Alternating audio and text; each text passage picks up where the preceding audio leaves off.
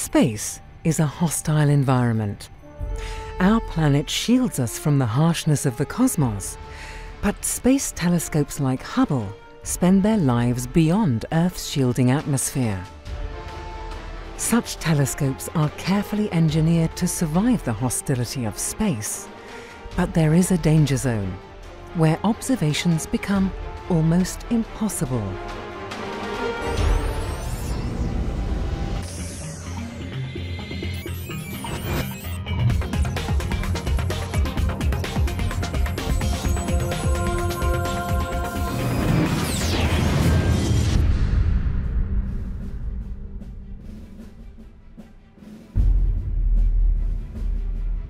Above the Earth's atmosphere, along Hubble's path, is a mysterious region known as the South Atlantic Anomaly. When satellites pass through this area, they are bombarded with swarms of intensely high-energy particles.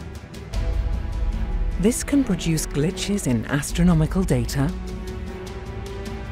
malfunctioning of onboard electronics, and has even shut down unprepared spacecraft for weeks. And it doesn't just affect machinery. When taking spacewalks in the anomaly region, astronauts have reported peculiar shooting stars as streaks of light flicker across their field of view.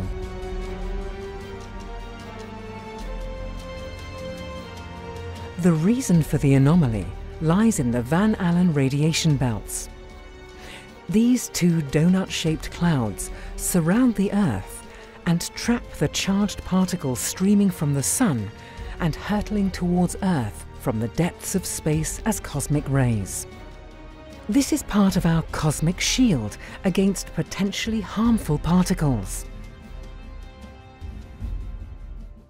But just off the coast of Brazil, spanning an area larger than the USA, the Earth's magnetic field is at its weakest and the inner donut dips below Hubble's orbit to just 200 kilometers above the Earth's surface. This belt contains high-energy electrons, protons and atomic nuclei, all trapped like fireflies in a bottle.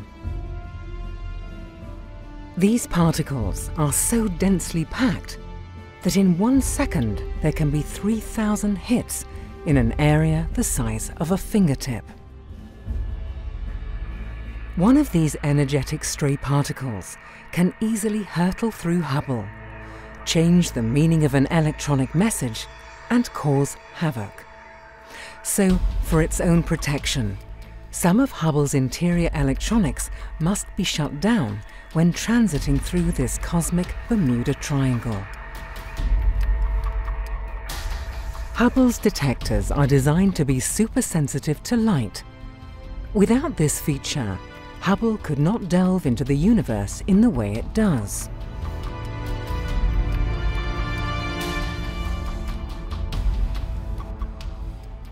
But this sensitivity has consequences. The detectors are also very sensitive to high-energy particles and would not survive the bombardment in the anomaly. So, for the 15% of its life that Hubble spends there, the detectors must be shut down. Only one of Hubble's cameras, the WFC-3, can still be used in this electronic dead zone. But the images produced are somewhat unusual. They are speckled with blemishes. Artifacts of hard-hitting cosmic rays and a reminder of the dangers that lurk above our atmosphere. Despite its many passages through the perilous South Atlantic anomaly, Hubble has survived for almost 25 years in orbit and continues to send us stunning astronomical images and observations that help to unravel the mysteries of the universe.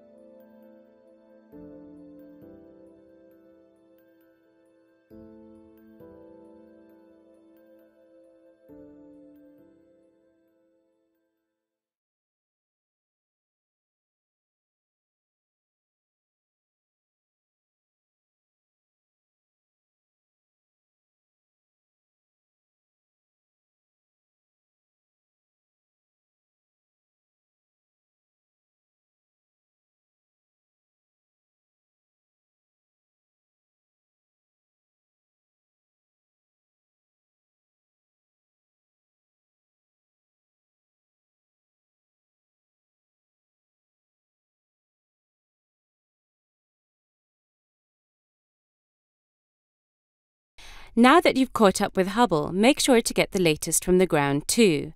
The ESOcast highlights the best of the European Southern Observatory and its powerful telescopes that observe from high in the Chilean Andes, at the Southern Hemisphere's best known sites for astronomical observations.